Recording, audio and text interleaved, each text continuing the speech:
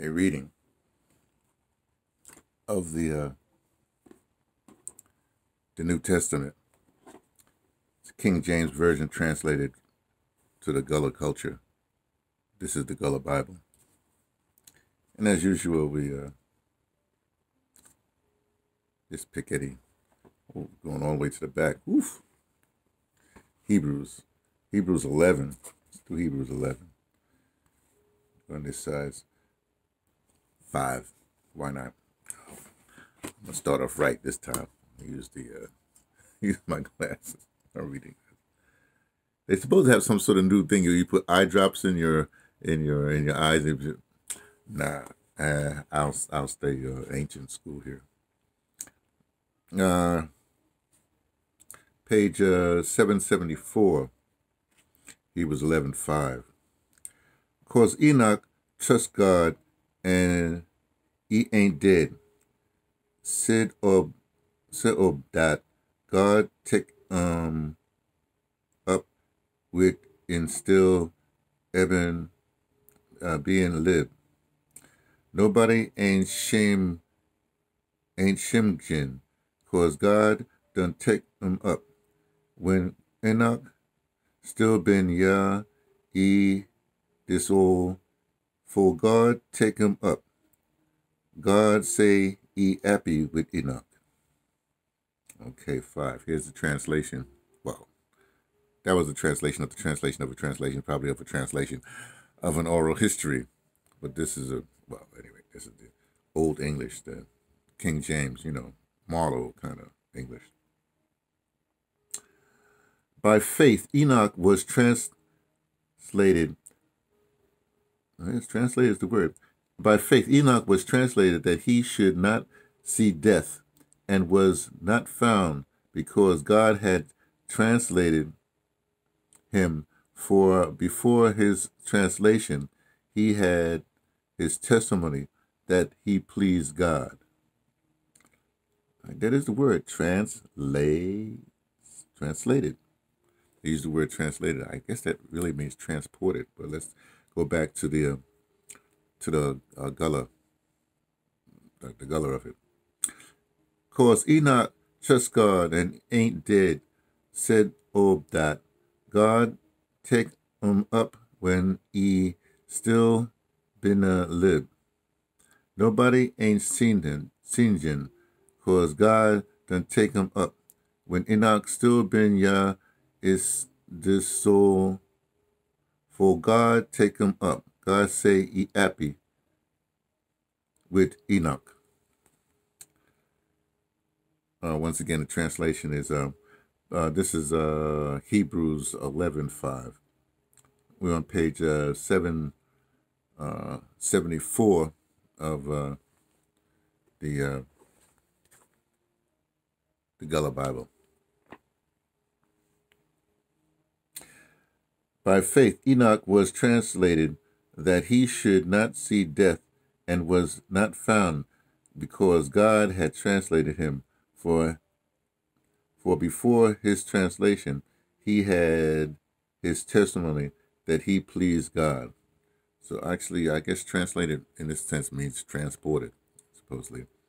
Okay. Oh, this is a Sunday. It's a Sunday morning, so I got to just uh, go go over. Uh, I read from the uh, from the Gullah Bible uh, every every day, every, morning around around about six o'clock. Around, it's it's it's in honor of it's a remembrance of my my grandmother who read the Bible. Well, not the Gullah Bible, the regular King James version. Some some King James version of the Bible every morning. I, I'm I'm an early riser, so I would just see her. I would come out and she'd be reading the Bible. You know, she never called me over or nothing like that. She just do it. You know, I wouldn't say ignore me, but basically ignore me. I guess she was into a thing. And um, and I read the Bible a couple couple of times. One time, can I say one time I was reading I just this is think this was the second time I read the whole I read the whole book, right? I was I was in the I was in the New Testament someplace, right? and I would visit my grandmother every Sunday. It was very interesting ritual because we would go and uh, I get there around nine, nine o'clock and they would have the Sunday mass uh, on TV because this, this particular one she was wheelchair bound and she wasn't getting out. Anyway, so she watched the Sunday mass. We watched it. We talk, you know, and she and she always was cooking. I mean, even in a wheelchair, she cooking, right? And uh, and so uh, uh so it was, that was about nine o'clock. Then I remember about, about one o'clock in the afternoon uh, on Sundays would come a program called Like It Is with Gil Noble. Uh, was produced by uh, Alambre Breath, for those people who need to know. In fact, his first producer was this guy named Doc, who was the uh, sound guy for um, Negro Ensemble Company when it first started. And um, Doc, he, he, he, I'll, I'll tell not out of school, but he he's a drug addict. You know, that's how he that's how he died. But uh, he would he, he would um I was a kid, I was like 17 years old, running the light board for for Daddy Goodness. He's running sound uh, for the, one of the productions that Negro Ensemble Company did. Anyway, um, so he protected me a lot from from all kinds kinds of things, but he was a great guy. I'm sorry, I go off. Anyway, so so it was a political program, highly political, and very and, and when Alambe started really producing, it was like more uh, Pan African, uh, uh, uh, like that. Anyway, um, uh, so it was quite interesting. I'm going like my grandmother's listening to like watching like it is. She went into it. I'm going like whoa, this is interesting. Because by that time, I'm like super radical, you know. I, about, I guess about, uh, no, it's after I came out of college. I mean, I was in my 20s now, but it doesn't matter. Anyway, so so that's part of it. But this, this um, but I do this because I have this thing where I want to get into the the mindset or the mind frame of a newly freed a slave, and if they would want to learn how to read, what would they be reading? Would they be reading the Bible? And of course, you know the Gullah people, you know they they talk a certain way, so they created their own. Well, at some particular point, they created their own Bible.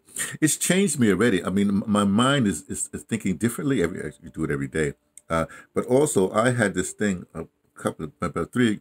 Whenever um uh, the Five Bloods came out, you know Spike Lee's movie, The Five Bloods came out. I started to write my the the th the as uh as as the da like in the Bronx because that's where I come from the Bronx right like that and because of uh, Delroy Lindo's um uh character was so powerful it's an incredible performance you know talk about talk about Samuel Jackson not getting the award you know for Pulp, Pulp Fiction you know what I mean for his character in Pulp Fiction well to me Delroy Lindo his character in Five Blood should have got acknowledged. Let's, let's put it that way. Anyway, so I've been doing that for almost like two years, I guess, just writing instead of the writing the da.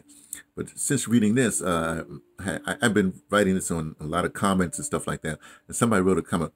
Um, I, I, did some wrote something about James Small. He said he would basically was saying that James wouldn't wouldn't, wouldn't appreciate or wouldn't wouldn't. Uh, uh, I was embarrassing James by using the instead of the right.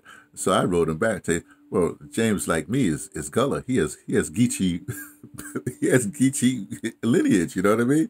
And I know James. I know him since the '80s. So I just wrote. So I started saying, but he would say D because of the Gullah thing. So then I changed it. So now instead of the, I use D because of the Gullah Bible. Again, embracing my Gullah Gullah Gullah heritage. So I thought I'd let you all know that I, being me, T from the Pattersons, taking the train to Tibet, letting you know what I only suspect.